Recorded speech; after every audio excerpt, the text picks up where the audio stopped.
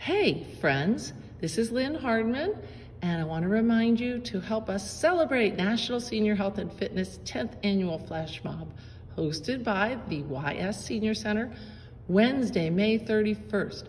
Be on Short Street at 1 p.m. sharp. Better yet, um, check in at the Senior Center at about a quarter till and start walking out um, near Short Street soon after.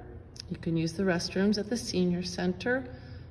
And we're all going to amble on over to Short Street, which will be blocked off for our 10th annual flash mob. Uh, we'll be facing the Little Art Theater and Xenia Avenue, the saw horses to block the street off, and the camera on Short Street. You could park along Walnut Street down here, or over at the John Bryan Center uh, parking lot or street parking, as you know, is always at a premium in Yellow Springs. Our music will be coming from our friends at the US Bank who allow us to plug in. And when we hear the music come on, we'll hear that introduction and we'll do that walking out part. You see these chalk lines with the little color dots? There will be chalk lines on the street but when we mingle out, we'll all be like a rainbow of Skittles. All the colors will be mixed up in here. And um, when we get to the second half of the song, each group will have their own part. The purple represents our Yellow Springs Community Children's Center.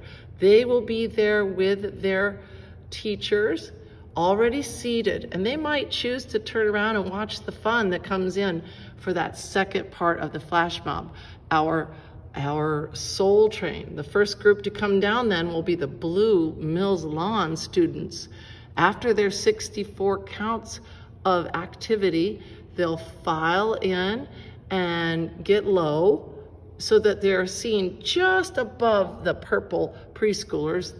The Mills Lawn grade schoolers will be a little bigger. And the next group to come down the middle will be our Green Antioch School group. Um, so as they come down, they'll do their own thing, whatever they choose. They might be on unicycles, but they've got 64 counts of, of fun um, choreography and moving, and then they're gonna settle into this little part of the rainbow.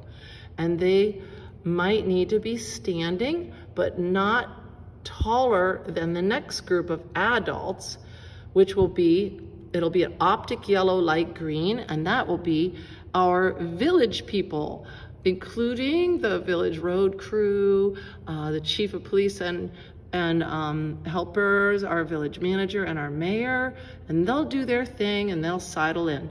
If they don't take 64 counts, that would be good because we want the young people to have their full share. Um, they could be bringing signs or pom-poms. All of these groups may be provided with similar colored pom-poms. And then the next group is orange. They will come down. That will be a group from the senior center. And we will make sure that they know their moves and they'll they know to settle into that orange arc of our human rainbow. And the final group would be red, and that I will help orchestrate that group and the others after the choreography, I'll sort of amble to the back and make sure people go when it's time to go. And each group will have captains. And in this way, we can all collaborate and have a ton of fun. Um, so please, don't forget our flash mob, a celebration of Senior Health and Fitness Day will be Wednesday, May 31st at 1 p.m. sharp. Don't miss it. It's gonna be great. Thanks for your consideration and even more for your participation.